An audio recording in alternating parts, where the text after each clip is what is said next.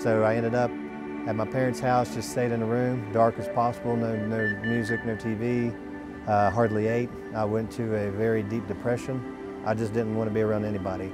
Um, I, I was a real recluse for about 10 years.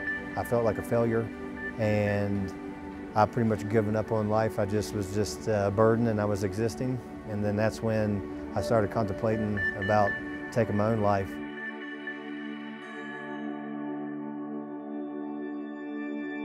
And we came here to the Winter Sports Clinic and my life changed forever. You know, he was like a sponge. He was just getting everything coming in and watching everything and being real uh, attentive on the event. And, uh, you know, I, I, could see the more you get in, put into this event, the more you get out of it. And you could see him blossom right during the week he was here.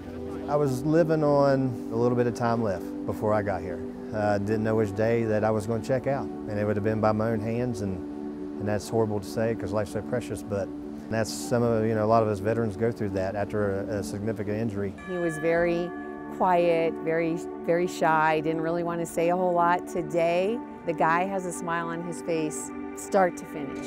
He mentors the other veterans coming here.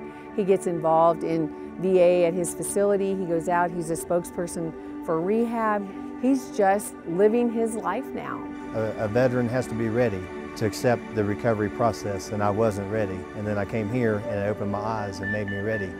He's a, I, I think, uh, would be a great mentor for this event, just coming here and being with the vets, because he's been through it, he's done it, he knows what, what to do.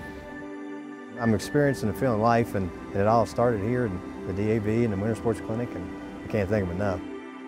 He's everything this clinic stands for, and he takes whatever comes at him, and he turns whatever it is into something incredibly amazing.